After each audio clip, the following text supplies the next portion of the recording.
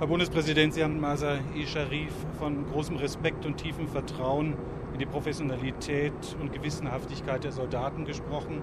Sie haben aber diesen Termin der Reise auch sehr bewusst gewählt, weil Sie gesagt haben, man soll besser hinsehen in Afghanistan.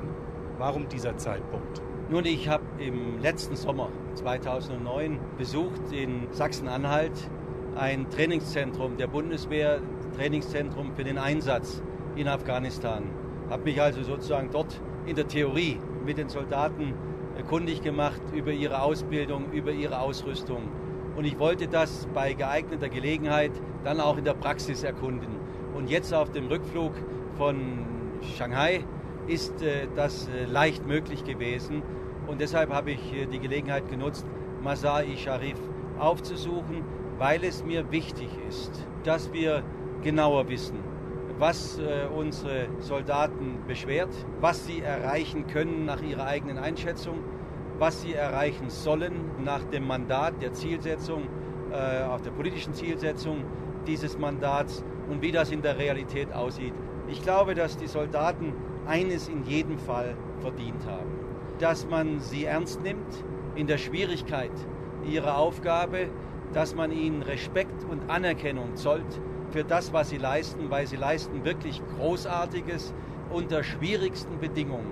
Und das wollte ich hauptsächlich mit meinem Besuch dann auch zum Ausdruck bringen. In der politischen Debatte wird auch darüber nachgedacht, ob das Mandat, das die Bundeswehr in Afghanistan hat, ausreicht. Brauchen wir ein klares Bekenntnis zu dieser kriegerischen Auseinandersetzung und vielleicht auch einen neuen politischen Diskurs? Nein, wir brauchen einen politischen Diskurs in der Gesellschaft wie es kommt, dass äh, Respekt und Anerkennung zum Teil doch zu vermissen sind, obwohl die Soldaten so eine gute äh, Arbeit machen. Wir brauchen den Diskurs weiter, wie wir sozusagen in Afghanistan äh, das hinkriegen, dass auf der einen Seite riesige Aufgaben da sind des zivilen Aufbaus, gleichzeitig das Militär aber nicht alles selber machen kann, wie wir das vereinbaren mit der Erwartung der Bevölkerung auf einen raschen Abzug der Truppen. Und aus meiner Einschätzung ist es wirklich so. Wir kämpfen dort auch für unsere Sicherheit in Deutschland. Wir kämpfen dort im Bündnis äh, mit Alliierten auf der Basis eines Mandats der Vereinten Nationen.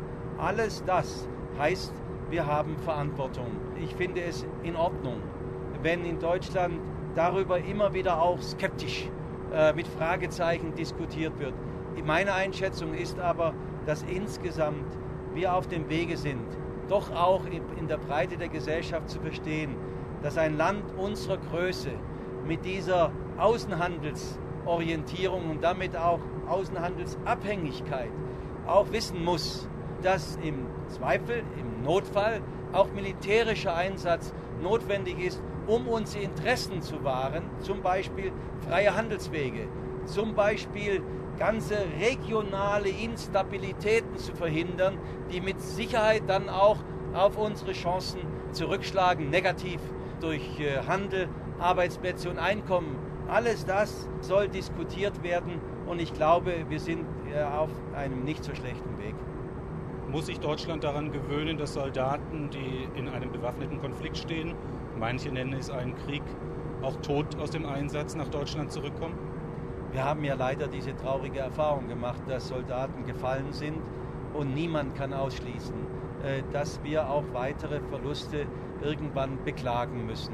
Ich habe mich davon überzeugen können in Masai Sharif, dass von der militärischen Führung da wirklich jede Professionalität und Gewissenhaftigkeit äh, sowohl in der Frage der Ausbildung als auch der Ausrüstungsbedürfnisse vorhanden ist. Aber es wird wieder äh, sozusagen Todesfälle geben. Nicht nur bei Soldaten, möglicherweise auch durch Unfall, mal bei zivilen Aufbauhelfern. Das ist die Realität unseres Lebens heute. Man muss auch um diesen Preis sozusagen seine am Ende Interessen wahren. Mir fällt das schwer, das so zu sagen, aber ich halte es für unvermeidlich, dass wir dieser Realität ins Auge blicken. Deshalb halte ich es auch nach der Diskussion über den Begriff Krieg oder kriegsähnlichen Zustand oder bewaffneter Konflikt für ganz normal, äh, wenn die Soldaten in Afghanistan von Krieg sprechen. Und ich habe es auch für normal gehalten, dass ich auch in dem Gespräch mit Ihnen dann nicht eine verkünstelte andere Formulierung gewählt habe.